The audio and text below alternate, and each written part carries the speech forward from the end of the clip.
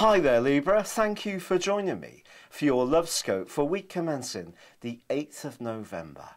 A new moon stirs the most sensual side of your nature, but with Venus, your ruler, returning to your sign and forging an absolutely amazing link with Neptune, this could be the stuff that dreams are made of.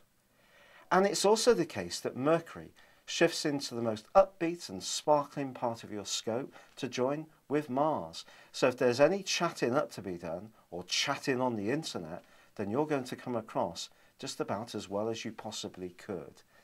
And all this is going to give you a great deal of extra confidence. And that's the priceless ingredient when it comes to your love life.